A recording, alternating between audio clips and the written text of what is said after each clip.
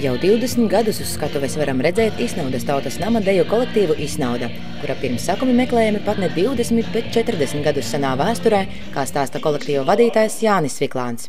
Kolektīvs sācis savu darbību gandrīz vai nejauši, un visus šos gadus tā dalībniekus kopā notur īsta draudzība un mīlestība pret deju.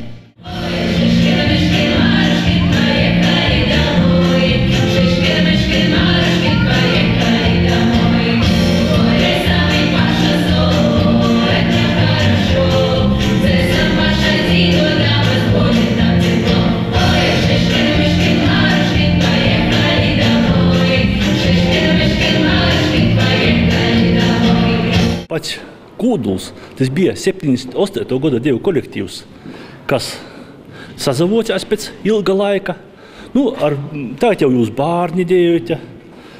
Jo tā ir turamies kopā, vēl no skolas laikiem.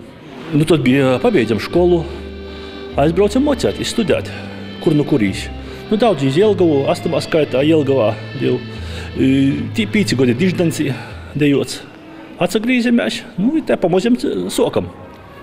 Pirms tam bija vēl viens dievu kolektīvs, nu, 98. gadā sākām iznaudu. Porcelānā esam stīnīti.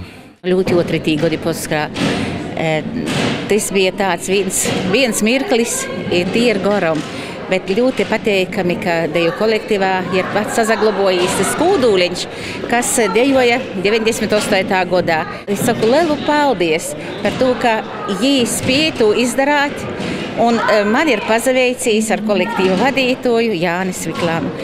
Izskaidrojis, ka sokais ir stingrs, kā soka, tā arī notiek. Kā atzīst paši dejotāji, kas gan cits vēl labāk veldzē dvēseli un garu, sniedz lielisku prāta un ķermeņa treniņu, ja ne dejošana. Un iznaudas dejotājiem deja ir tik tuva, ka piecus gadus atpakaļ, gatavojoties 15 gadu jubilejas svinībām, izveidojās arī otrs deju kolektīvs Pērle, kas kopš tā laika veiksmīgi darbojas izsmalcinātajā galma deju žanrā. Thank you.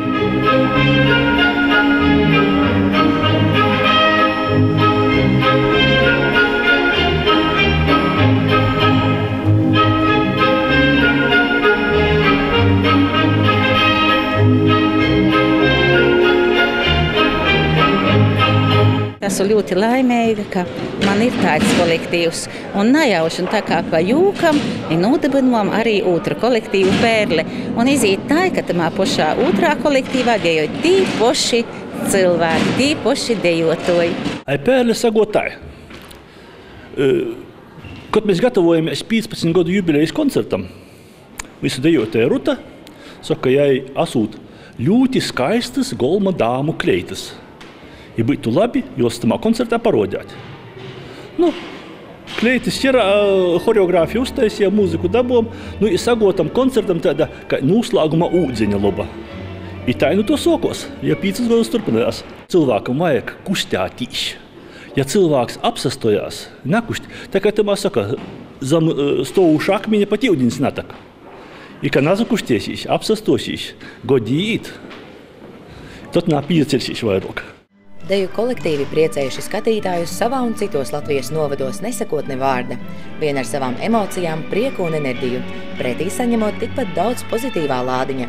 Kā minēja abu kolektīvu vadītājs, nekustēties nedrīkst, un jau pats jubilejas pasaukuma nosaukums Nabaudoja es būšu norāda uz to, ka Isnaudas tautas nama dejotāji pat netaisās stāt savā staltajā deju solī.